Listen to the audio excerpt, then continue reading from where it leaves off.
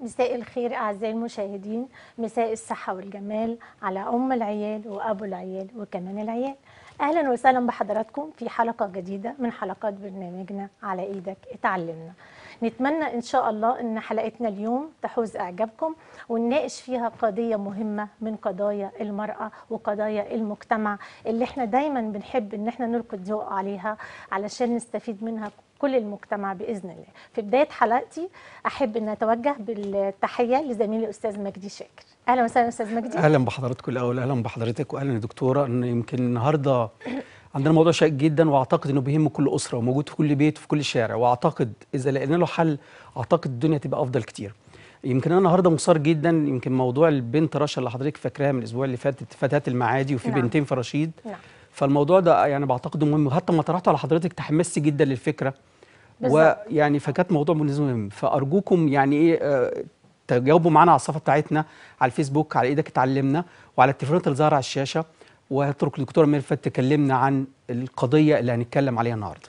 القضية اللي هنتكلم عليها النهاردة أعزائي المشاهدين مشاهدين قناة الصحة والجمال ومشاهدين كل قنواتنا في كل أنحاء العالم. هي قضية تخص كل امرأة. هي قضية العنف ضد المرأة. طيب إحنا في البداية خالص أحب أن أنا آه، أوجه كلمة للمرأة تخص كل امرأة. يعني أحب أن أنا أعرف وكلمة مهمة جدا. ما هي المرأة عزيزي المشاهد؟ هي ذلك الكائن الجميل اللطيف الرقيق الضعيف الذي تتحمل ما لا تستطيع تحمله الجبال والتي تحب بكل ما تحمله الكلمة من معاني. خلقها الله سبحانه وتعالى لكي تساعد الرجل في كل مهام حياته لكي تعمر الكون وتعمر المجتمع.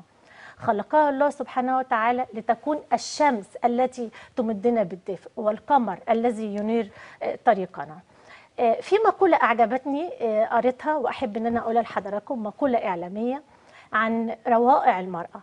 المرأة تواسي وهي مهمومة تداوي وهي مجروحة تسهر وهي متعبة تحزن مع من لا تعرف تتحمل أحكاما مسبقة بدءا بشكلها وملابسها وانتهاء بكونها أنثى. تصبر على بعد معيلها الذي قد لا يصبر مثلها. من روائعها أيضا أنها الأم والأخت والزوجة والابنة والحبيبة. هي رائعة لأنها ممكن أن تكون لنا وطنا. إن عرفنا مفاتيحها وأحسننا معاملتها وصبرنا على تقلبات مزاجها. ومع كل هذا الضعف وكل التضحية اللي بت- بت- بتقدمها المرأة للمجتمع ولكنها للأسف الشديد بتتعرض لأنواع كتيرة جدا من العنف. هتكلم مع آه، زميلي أستاذ مجدي النهاردة إن شاء الله على أشهر أنواع العنف اللي بتتعرض له المرأة في مجتمعنا المصري أو مجتمعاتنا الشرقية بصفة عامة. اتفضل يا أستاذ والله يا. دكتورة ميرفت أنا عندي مشكلة غريبة جدا. لما بدأت نحضر الحلقة لقيت إن 91% من السيدات في مصر تعرضوا للعنف سواء بطريقة مباشرة أو غير مباشرة. ودي نسبة نسبة مذهلة. أنا بس قبل ما نبتدي عايزين بس نعرف الدستور المصري اللي هو بيسموه اللي خدت منه كل القوانين. الدستور المصري ده مهم جدا لأنه على أساسه أي قانون حضرتك بتعمليه هو جاي من هذا الدستور. فالدستور تخيلي فيه أربع مواد فارقين بالنسبة للمرأة. يعني المادة الاربعه من الدستور المصري اللي المفروض كل القوانين بتيجي عليه بتقول المواطنين أمام القانون سواء. يعني سواء رجل أو سيدة. نعم. ما فرقش ما بينهم بصرف النظر عن لغته ودينه وجنسه وعقيدته. يعني حتى لو هو في نفس الدين وعقيدته مختلفة ما فرقش. المادة جت المادة 8 قال كده تكفل الدولة الحريه المراه والرجل بيتساووا. المادة 10 و11 قال برضو كده بتكفل الدولة حتى التوفيق بين المرأة العاملة سواء في مجال عملها وبين الأسرة يعني زي ما بيقولوا بالده اللي هي الثلاث أشهر بالحمل واللي هي بعد الولادة واللي هي تاخد أجازات مثلا بدون مرتب. فحتى الدستور نظم لي المادة هي 8 و4 و10 و11 نعم. نظم الموضوع ده قال لك بما يتوافق مع الإيه؟ مع الشريعة. أيوة. لكن إحنا بنلاقي في عنف كتير جدا وحضرتك قلت تعريف وإحنا عندنا أربع من العنف. هقول لهم لحضرتك وحضرتك هتفصلي. آه بس الأول يا آه، أستاذ مجدي. قبل ما ندخل على أنواع العنف عايزين نعرف معنى العنف. إيه هو العنف؟ العنف هو أي ايذاء نفسي أو جسدي أو أي معاناة تقع على المرأة. وبيكون بسببها آه، الشخص اللي, اللي هو غالبا الزوج أو المجتمع آه، هذا الزوج ممكن يكون عنده خلل نفسي وأنا بعتبر أنواع العنف ديت أو العنف اللي, ضد المرأة نوع من أنواع انتهاكات حقوق الإنسان ونوع أيضا من القوى غير المتكافئة بين المرأة وبين الرجل يعني أنا حبيت إن أنا أوضح للمشاهد إيه هي معنى العنف آه، بصفة عامة إن إحنا قلنا طبعا أي إيذاء. نفسي أو جسدي آه. يقع على هو تعريف حضرتك البسيط آه. الجاي الاخراني اللي أنا بعتبره رائع إن هي قوة غير متكافئة بين قوتين قوة رجل وقوة سيدة مفيش طبعا مقارنة وبالتالي ده أعرف يعني أبسط تعريف. لكن العنف طبعا له أشكال اللي هو المباشر الناس مفكرة إن واحد بيضرب مراته هو ده العنف والله ابدا. ده العنف جسدي وفي منه نفسي وفي منه جنسي وده إحنا شايفينه كتير جدا ومنه اقتصادي. الراجل اللي بيمنع اللي بياخد مصروف مرتب مرتب مراته ويصرفه ما هو ده نوع من العنف. الراجل الايذاء البدني ده عنف. لما أقول للبنت مثلا مثلا في الشارع أنا آسف يا مثلا يا تخينة أو كده. هي للأسف يا دكتورة وحضرتك أكيد عارفة نعم. إن عندنا مشكلة ان من أول ما البنت ال- العرف القانون.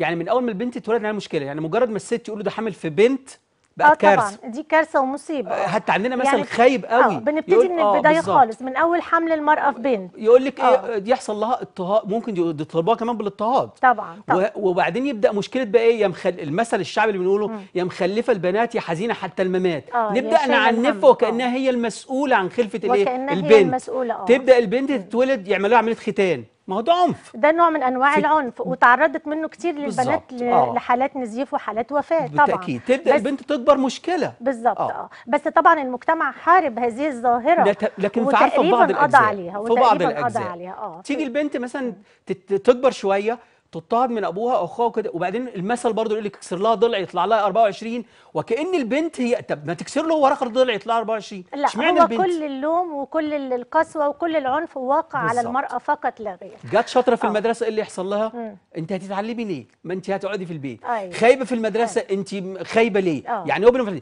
تيجي تلبس آه، متداري ملحلحة زي زي البنات. مم. تيجي تتلحلح وتلبس كويس ما هي السبب في التحرش.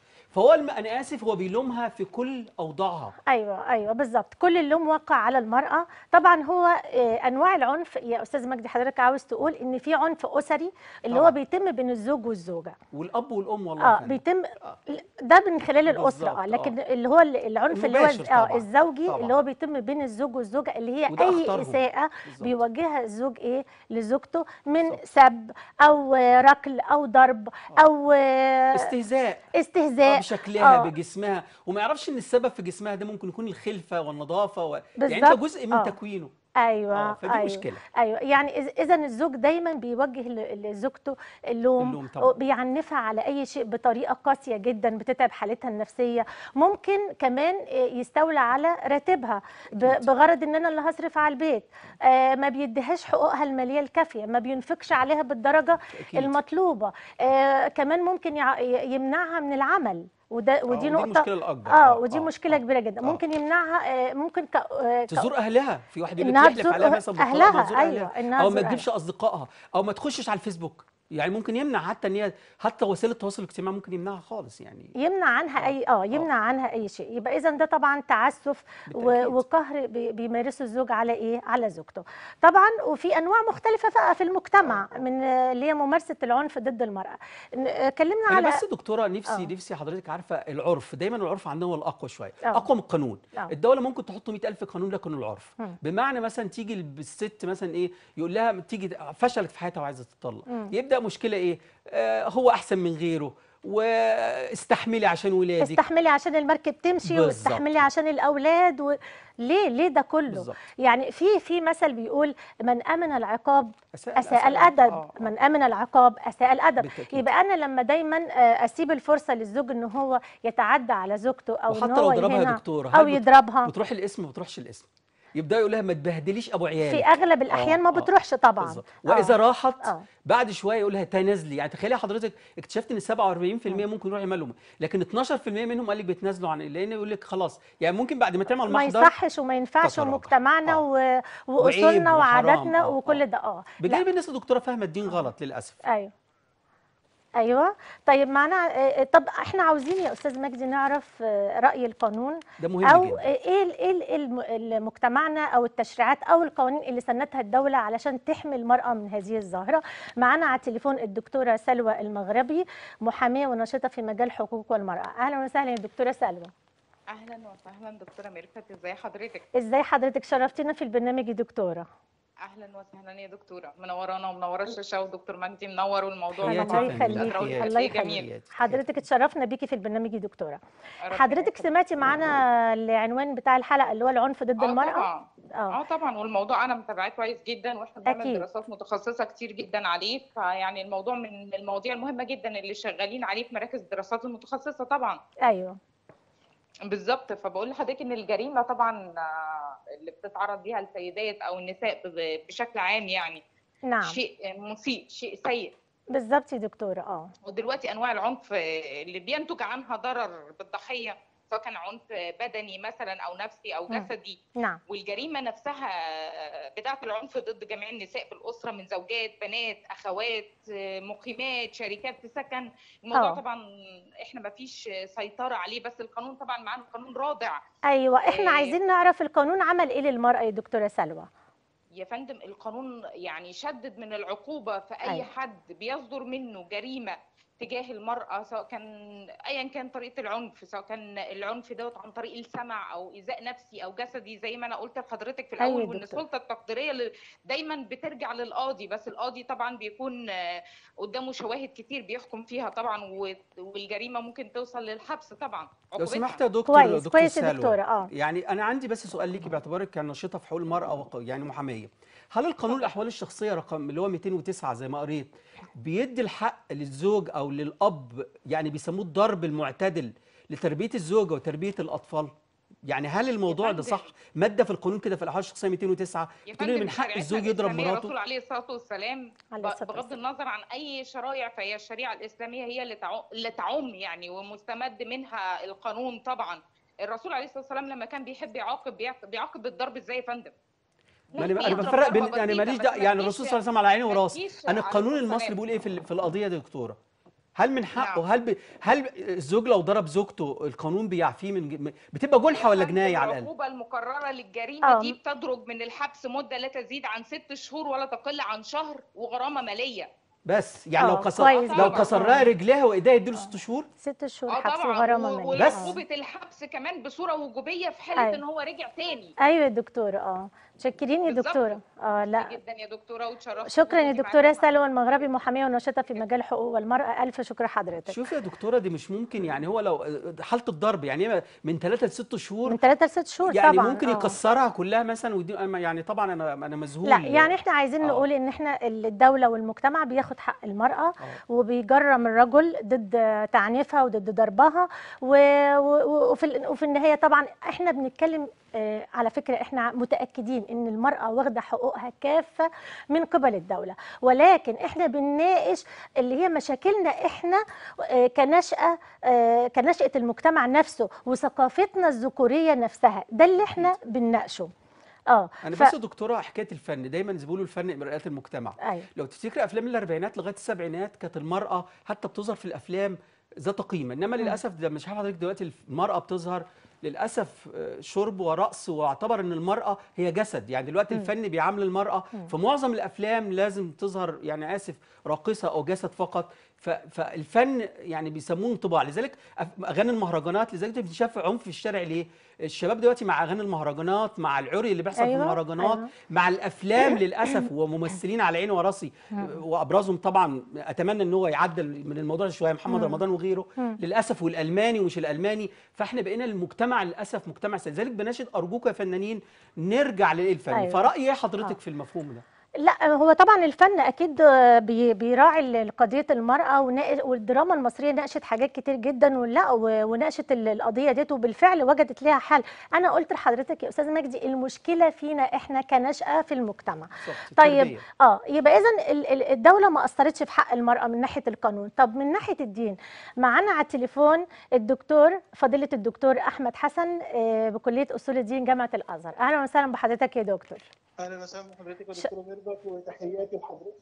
الله يخليك يا دكتور. للدكتور مجدي. تحياتي يا دكتور. في البداية على البداية القوية والناجحة لبرنامجكم على يدكم اتعلمنا ميرسي لحضرتك. في الحقيقة عدد من القضايا المجتمعية المهمة اللي محتاجين نعرضها ونبحث لها عن علاج للقضايا السلبية منها.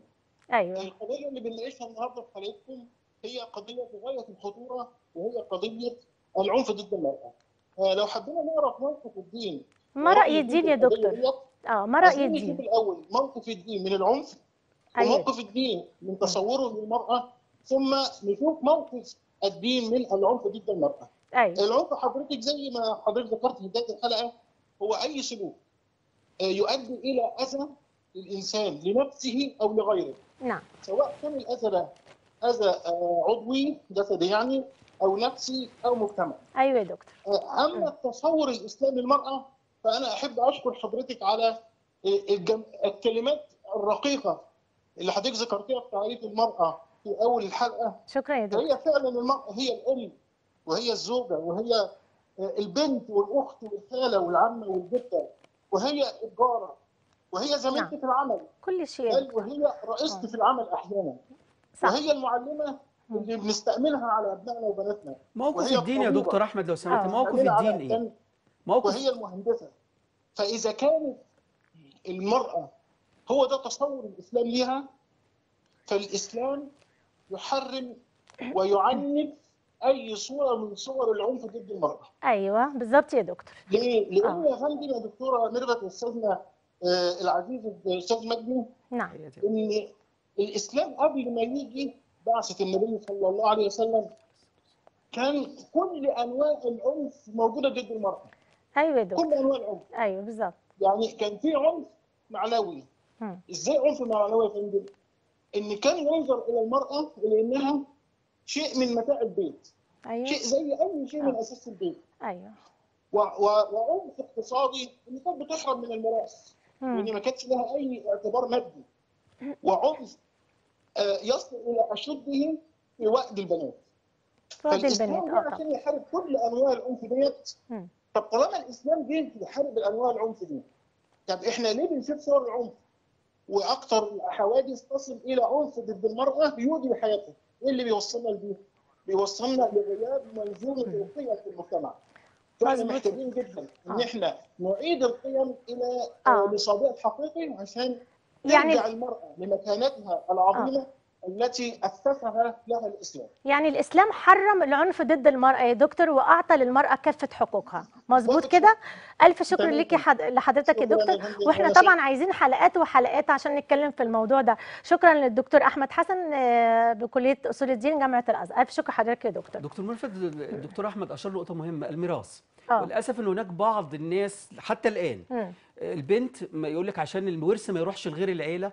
ده نوع من العنف وأنا. بعتبره عنف مهم جدا يروحوا. مدينا مبلغ ضعيف جدا وإذا كانت لها أرض ده إذا ادوها يا أستاذ مجدي آه. وروحي بقى ارفعي قضية اقعدي لك أيوة، سنة بالظبط، اثنين ثلاثة أربعة بالظبط. فأنا بعتبر آه. موضوع الميراث ده رغم إن الدين. حدده وقال. للذكر مثل حظ الأنثيين. لكن للأسف هناك بعض الناس عشان ما تنقلش الملكية. إحنا مشكلة إحنا بس يا دكتورة موضوع مهم جدا دلوقتي وضع المرأة دلوقتي إحنا عايز بس تاثير العنف لما المرأة تتعرض للعنف سواء في بيت أو في الشارع إيه اللي هيحصل على المجتمع المجتمع إيه اللي هيحصل أولادها أنا نفسي أعرف الأولاد الأولاد ليه بقوا زي ما بيقولوا عليهم بقوا للأسف بقى عندهم عنف شديد الأول يا أستاذ مجدي إحنا آه. نقول إيه اللي يحصل على نفسيتها هي بالظبط. ما هي الأم أو الزوجة هي اللي بتربي ال- م- ما كانش نص. المجتمع آه، آه، المجتمع الأولاد. كله آه. طبعا ده بينعكس على حالتها النفسية بتفقد ثقتها بنفسها بينعكس التربية. أيضا على على على حالتها الصحية آه على حالتها آه معانا تليفون باشمهندس حسن من السعودية أهلا وسهلا يا باشمهندس السلام عليكم. عليكم السلام. أهلا وسهلا. منورين الحلقة وموضوع هادف جدا وأنا فعلا سعيد بالمداخلة معاكم. ميرسي. لأنكم بتتكلموا في مواضيع بتمس وجدان الأسرة المصرية بكامل انتماءاتها واطيافها أكيد يا باشمهندس. بس اسمحوا لي في دقيقة واحدة بس كده. اتفضل يا باشمهندس. اتفضل. 47 في عجاله لو سمحت يا باشمهندس عشان وقتنا. إنني أحيي القوات المسلحة المصرية. آه. أكيد طبعا. قادتها الذين خططوا للمعركة وأحيي طبعاً،. وجنودها الذين نفذوا بالنار والدم. آه. إيه لتظل رؤوسنا عالية بعد أن كانت جباهنا آه، آه، خفاقة وكانت تنزف الدم والألم والمرار تحية طبعا مننا لكل جيشنا وكل حكومتنا وكل. ورئيسنا طبعا الغالي. نعم لتظل مصرنا دولة فتية أبية قوية في ظل فخامة الرئيس عبد الفتاح حسين خليل. له مننا كل التقدير والاحترام والحب. إن شاء الله. آه، آه، يا فندم الموضوع هام جدا وحيوي جدا. أنا عايز أقول المرأة اتكرمت من أيام شعرائنا ال- ال- الموجودين لما قالوا لأن لأن المرأة بتمثل زوجه وبتمثل الأم وبتمثل الأخوة. بتمثل كل شيء في المجتمع، المجتمع يا باشمهندس. هي المجتمع كله. تمثل كل آه. فعلا تمثل كل أطياف المجتمع آه. وعشان كده الشاعر لما قال الأمة مدرسة إن أعددتها أعددت شعباً طيب. طيباً. الاعراق بالظبط. آه. ولما لا وقال الرسول عنها في حجه الوداع استوصوا بالنساء خيرا أيوه ورفقا أيوه. بالقوارير. أو رفقا بالقول آخر شيء قاله الرسول عليه الصلاة والسلام. شكرا يا وهذا ما باشمهندس قاله وهذا ما قاله رسول الله فما بالك برب العزة سبحانه وتعالى. آه. وقد قال قرآن يتلى. في سورة النساء سورة سميت بسورة النساء بعد فاتحة الكتاب والبقرة وآل عمران مم. شكرا لحضرتك يا باشمهندس وشكرا على رأيك بنشكرك آه. طبعا وإحنا مع الباشمهندس حسن في يعني- تأييد القوات المسلحة وان هي طبعا إحنا في شهر تح... طبعا تحيه. تحية مننا لكن يا لكل دكتورة عندي برضه ما زلنا. في موضوع إطار العنف آه. المرأة المتعرض للعنف عندنا مشكلة اقتصادية واحد يقول لك علاقتك بالاقتصاد الست دلوقتي هيحصل لها مشكلة في بيتها هتروح الشغل نعم زي بيقولوا هتقرف كل ما في مشكلة. مش هتقدر تشتغل جيد. نفسيتها مش مرتاحة بالظبط. طبعا. لو. بتقدم خدمة آه. ليا وليكي مش هتقدمها بصورة جيدة. مش طبعا. آه، لو هي بتتعامل في الشغل في آه كفاءتها في الشغل. وبالتالي آه. هتاثر على الناحية كفاءتها في التربية. بالظبط. آه، كفاءتها كزوجة. آه. كفاءتها مع المجتمع وفي عملها يبقى أنا لازم أقدم للمرأة كل الاحتواء وكل الحب وكل التقدير علشان مين بقى يا تقدر دكتوره اللي يقدم؟ هل كل أفراد بالظبط، المجتمع. بالظبط. كل أفراد حتى الأولاد في الأسرة. آه، كل, كل لازم يقدموا لأمهم كل المساعدات وكل التقدير وكل الاحترام طيب الأولاد هيعملوا كده إزاي لو هم شايفين الأب بيعملها. معاملة آه، سيئة. يبقى لازم رب الأسرة الأول يهتم بكل ب... ب... العدل. العدل يطبق الإسلام آه، يهتم العدل. ببناته آه. ما يحجرش على أفكارهم زي ما قلنا في الحلقة اللي فاتت آه يعني ندي للمرأة كافة حقوقها علشان هي كمان تقدر تدي للمجتمع كل حقوقه المفروضه عليها وبعدين في الآخر المرأة كائن ضعيف رفقا بالقوارير رفقا بالقوارير آه. أنا بس آه. يا دكتوره عشان يعني حلقتنا تبقى لها لها نهاية آه، واحد يقول لك أنتوا جبتوا مشكلة إيه الحل؟ هنحلها إزاي؟ حلها يا جماعة إن كل في طرق كتير للحل. التفاهم آه. والتعليم. دايما حتى لما يكون اتنين متعلمين بيبقى في عندهم يعني أرضية مشتركة وبيقدروا يتكلموا اتكلموا مع بعض. يعني دايما أي مشكلة أرجوكم اتكلموا مع بعض. لو في تعليم جيد في مناهج تعليم بنعرف أولادنا عن العنف وتأثيره ما تخافش ما تخافيش أرجوكي. قولي مشكلتك وروحي اوريدي مشكلتك. مش الدولة بتعمل قوانين فقط لكن أنا يهمني إن الناس كلنا كلنا زي ما بيقولوا منظومة عشان تنجح. لأن المرأة إذا نجحت هتبقى الأسرة كلها في سعادة وفناء المجتمع. كله آه، آه، المجتمع آه. كله هيكون ناجح بإذن الله. يبقى إحنا لازم نغير فكرتنا وننزعها تماما من المجتمع اللي هي الفكرة الذكورية اللي هي التسلط على المرأة وتعنيفها لازم ندي للمرأة كل احترامها وكل تبجيلها وعلشان هي كمان تقدر تقوم بعملها على أكمل وجه في المجتمع وبعدين ربنا سبحانه وتعالى اللي قال وعاش آه، بسم الله الرحمن الرحيم ومن اياته أن خلق لكم من أنفسكم ازواجا لتسكنوا- آه. لتسكنوا إليها وجعل بينكم مودة ورحمة ورحمة. لازم ناخد بالنا من كلمة رحمة. نرحم المرأة عزيز الرجل عزيز المجتمع. نرحم المرأة اللي هي نص المجتمع والمجتمع كله. وبوجه كلمتي كمان لع- لعزيزتي المرأة.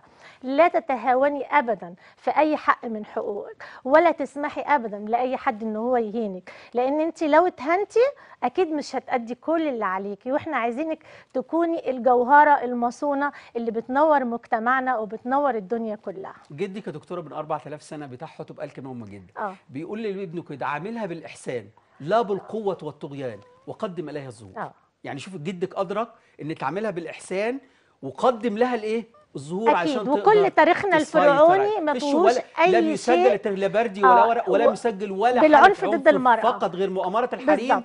حتى لما اكتشف أيوة. الملك رمسيس الثالث إن هو عنده مشكلة هذا الرجل سابها لقاضيها الإيه؟ لقاضيها الطبيعي. فأرجوكم بلاش عنف. اتكلموا مع. بعض اقعدوا مع بعض وترجع مصر لا زي ما كنا. آه بالظبط. لا للعنف آه. عزيزي المشاهد.